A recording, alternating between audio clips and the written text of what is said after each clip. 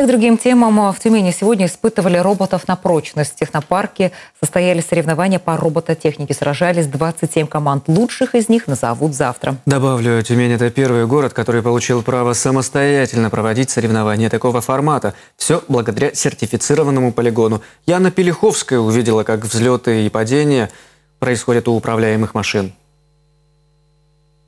абсолютно разные эмоции у болельщиков. Родители не скрывают переживаний, педагоги спокойны. Иван Зиноров еще не отдохнул после Кубка губернатора, и вот новые соревнования. На старте семья уже с 7 утра. Он быстро там что-то собирал, и сильно очень разрезал руку, вся футболка была в крови, но однако он не стал там ни останавливать, ни заматывать, быстрее продолжил. Иван соревнуется в категории «Искатель». Участники во время заезда находятся прямо на полигоне. Две попытки, каждая по 10 минут минут. Сложнее экстремалам, ведь они смотрят на препятствия глазами собственных машин.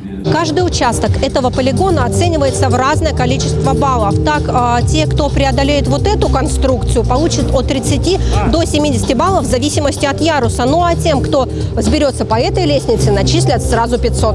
Есть и система штрафов. Отпала деталь – минус балл. Взял робота в руки – еще минус. Испытания максимально приближены к федеральным. У ребят есть испытание, которого нет у нас, оно называется «Шахта» довольно интересное, там полное затемнение, препятствия, и робот должен ориентироваться как бы в этих условиях, там ставить камеру, может быть, какие-то фары. Потому роботы здесь разные, от невесомых конструкций до монстр-траков. Все на усмотрение создателей. Также на этой модели есть защитная крышка для камеры, чтобы когда модель переворачивалась, камера неподвижно стояла на месте, потому что она может перевернуться, и тогда обзор будет совсем другой, и можно будет вообще не видеть модель.